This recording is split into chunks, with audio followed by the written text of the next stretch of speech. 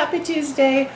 So today I'm going to talk about the Tempest Challenge, which I started about six months ago, but have only now gotten around to uh, making videos for because really I have resisted putting my face and voice on video.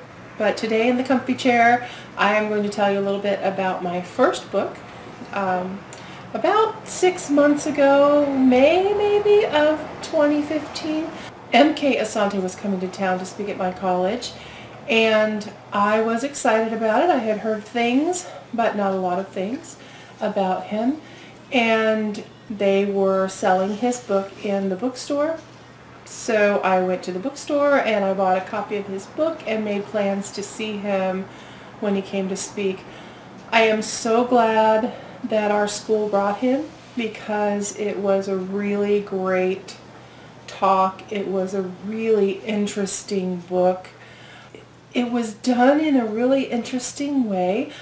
The book is essentially a memoir of M.K. Asante's time as a teenager and early college student, talking about how he came up in his neighborhood with um, really rough circumstances, lots of drugs, lots of despair, lots of people being hurt and killed.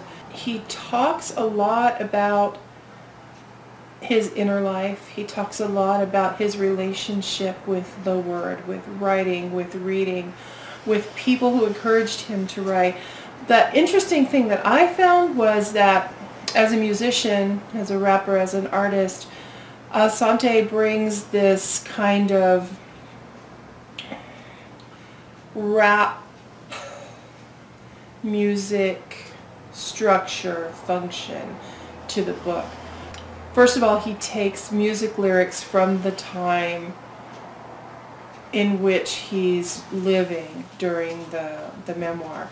So if it's 1996, he quotes music lyrics that he was listening to in 1996. The thing that was the most compelling for me was this child's really coming to grips with this really dangerous world around him and how he could possibly get out. And a lot of times he's just making do. He's just getting by, getting through the best way he can. It's a really sensitive portrayal of a young man in a society that frankly hates him. The other thing that I really loved about this book was his frank and really loving portrayal of his mother's struggle with mental illness. As I'm reading through the book, I'm thinking, mm, how does his mom feel about his, this unflinching look at some really intimate and difficult times in their lives together.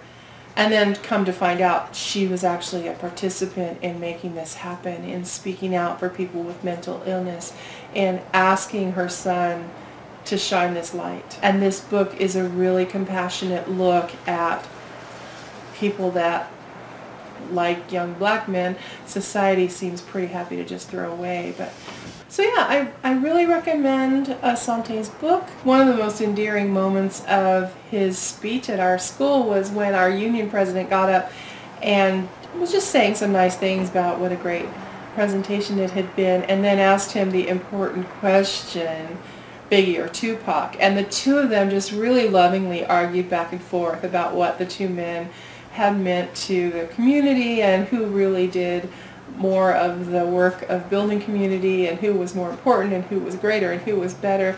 And it was just so cute and funny and sweet and loving.